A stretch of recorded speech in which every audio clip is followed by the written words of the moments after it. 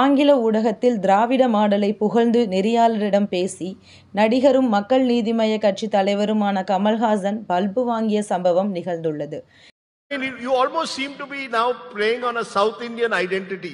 You're moving from a Dravida identity to talking about a wider But South let Indian me, identity. let, let me uh, surprise you with one more line. Please do. The Dravidian, the Dravidian identity does not stay only with Tamil Nadu தென்னிந்திய நடிகரான கமல்ஹாசன் சில வருடங்களுக்கு முன் மக்களுக்காக யாருடனும் கூட்டணி இல்லாமல் தனித்து மக்களுக்காக போராடுவதற்காக என்ற கொள்கைகளை கூறி நேரடியாகவே திமுகவை எதிர்ப்பதாக வீடியோ பதிவுகளையும் வெளியிட்டு மக்கள் நீதிமயம் என்ற கட்சியை துவங்கினார்.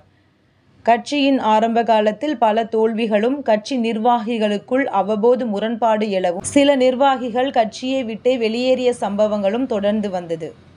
திமுகவை எதிர்த்து வந்த கமல்ஹாசன் சமீப காலமாகவே ஆதரவு கரம் நீட்டி வருவது போல திமுகவிற்கு ஆதரவாகவே பேசி வருகிறார். இது குறித்து கட்சி தலைவர்களும் இணையவாசிகளும் கலாய்த்து விமர்சனங்களை சமூக வலைதளங்களில் பகிர்ந்து வருகின்றனர். இந்நிலையில் இந்தியா டுடேவில் நேர்காணலில் கலந்து கொண்ட கமல்ஹாசன் திராவிடம் என்பது தமிழ்நாட்டில் மட்டுமல்ல இது ஒட்டுமொத்த நாட்டிரை நாட்டிற்குமானது என்று பேசியிருந்தது விமர்சனத்திற்கு உள்ளானது.